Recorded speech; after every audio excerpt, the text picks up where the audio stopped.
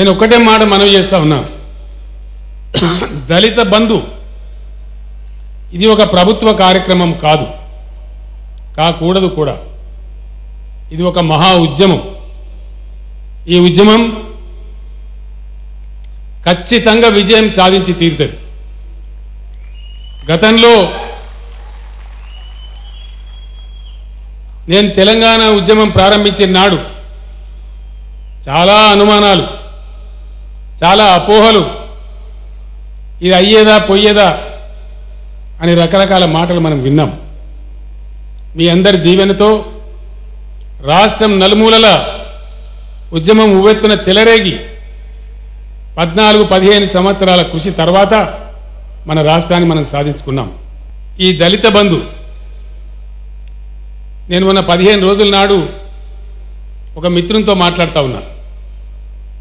తెలంగాణ ఉద్యమానికి పోయినాడు అదే మిత్రంతో మాట్లాడినా. మళ్ళీ మాట్లాడుతూ ఉంటే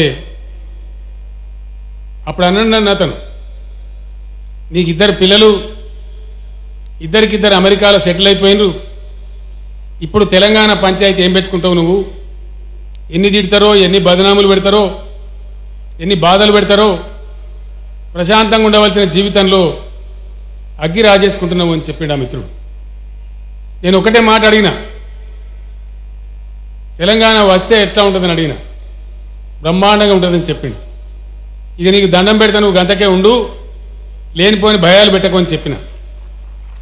మళ్ళా అదే మిత్రుడు మన దళిత ఎమ్మెల్యేలు ఎంపీలు ఎమ్మెల్సీలు ఇతర ప్రముఖ నాయకులతోని నేను వర్క్షాప్ పెట్టిన వార్త పేపర్లో చూసి ఒకటే మాట నవ్వుకుంటా. కేసీఆర్ నీకు తిన్నదరగదారా ఉన్న కాడ ఉండవు.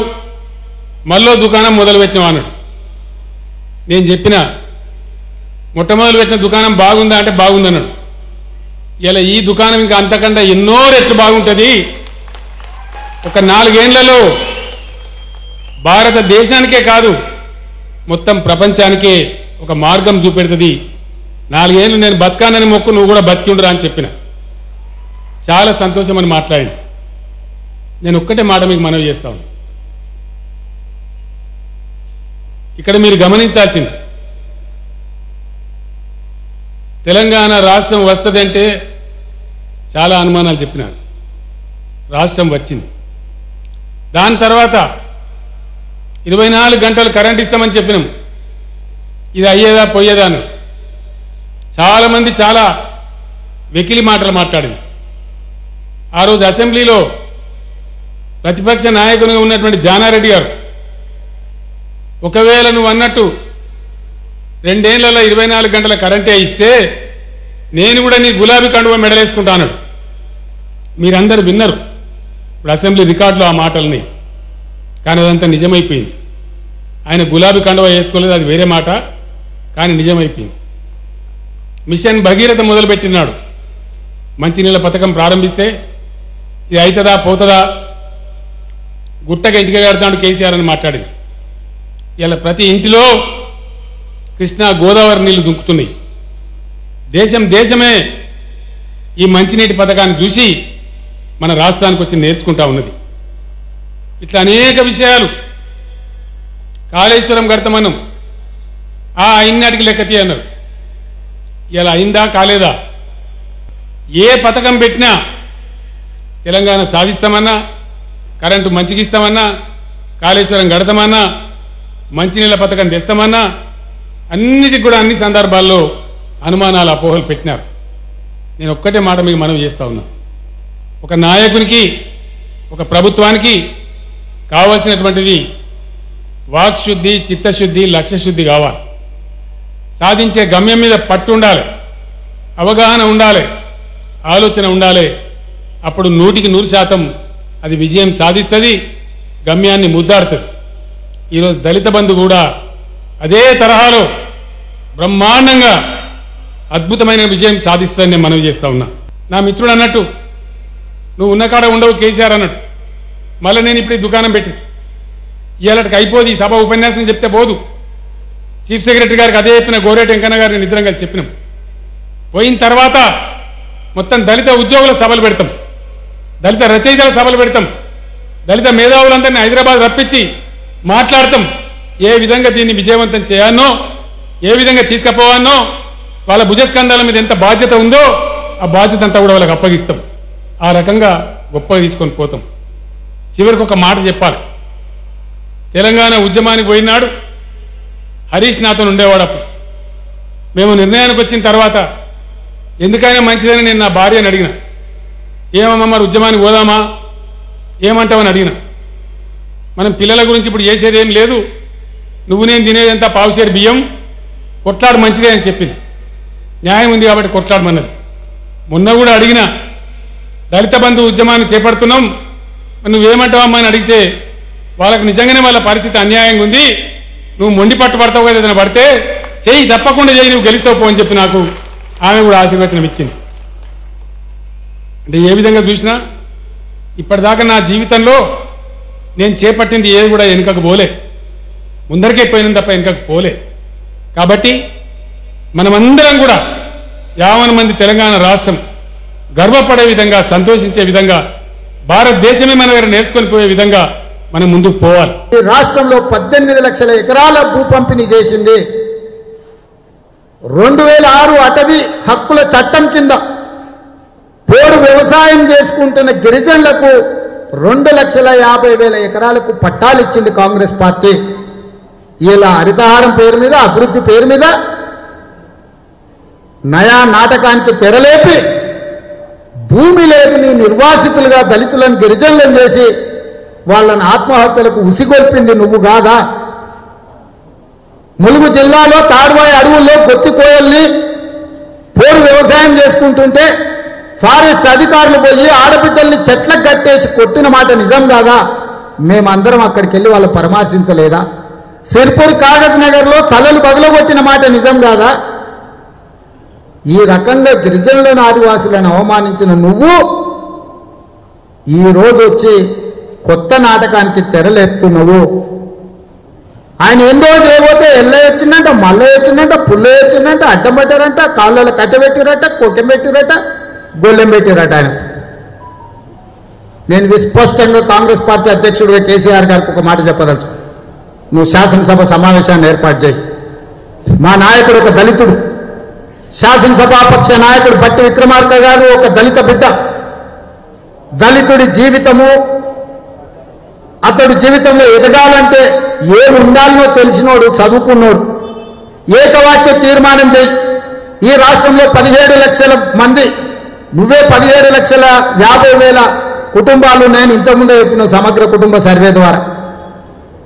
గిరిజనులో పది పన్నెండు లక్షలు ఉంటారు. ముప్పై లక్షల మందికి ప్రతి కుటుంబానికి ఈ ఆరు నెలల లోపలనే పది లక్షల రూపాయలు ఇవ్వడానికి అవసరమైన కార్యాచరణ నిర్దిష్టమైన చర్చ చేపట్టు సభ వాయిదా వేయాల్సిన పల్లె పొద్దున ఎనిమిది గంటలు మొదలు పెడితే మళ్ళా తెల్లారి వరకు కూడా రాత్రి మొత్తం ఉన్నాయన చర్చ చేసి దాదాపుగా ఈ ఇరవై ఎనిమిది ముప్పై లక్షల దళిత గిరిజన కుటుంబాలకు ప్రతి కుటుంబానికి పది లక్షలు. బేషరతుగా. ఎలాంటి షరతులు లేకుండా వాళ్ళకి ఇవ్వడానికి సహకరించడానికి మేము సిద్ధం. నీకెక్కడ సంతకం పెట్టాలని చెప్పు మేము వచ్చి సంతకం పెడతాం. దళితులకు గిరిజనులకు ఆదివాసీలకు ఇల్లు లేని వాళ్ళకి ఇస్తాన్న డబుల్ బెడ్రూమ్ ఇల్లు ఇవ్వలేదు. ఇంటికో ఉద్యోగం ఇవ్వలేదు. దళిత గిరిజనులకు మూడు ఎకరాల భూమి ఇస్తే కేసీఆర్కు చిల్లి గవ్వ కమిషన్ రాదు కాబట్టి దళిత గిరిజన పేదలకు డబుల్ బెడ్రూమ్ ఇల్లు ఇస్తే కేసీఆర్ కేసీఆర్ మనుషులు కమిషన్లు అడిగితే కర్రు వార్త పెడతారు కాబట్టి ఏడున్నర సంవత్సరాలల్లా దాదాపుగా పదిహేను లక్షల కోట్ల రూపాయలు రాష్ట్ర ప్రభుత్వం యొక్క ధనము ఖర్చైనా అనా పైస కూడా దళితులకు గిరిజనులకు బలహీన వర్గాలకు చేరలేదు. వారు చెబితే నిజం వారు చెబితే జరుగుతుందని తనని నమ్మమంటుండు.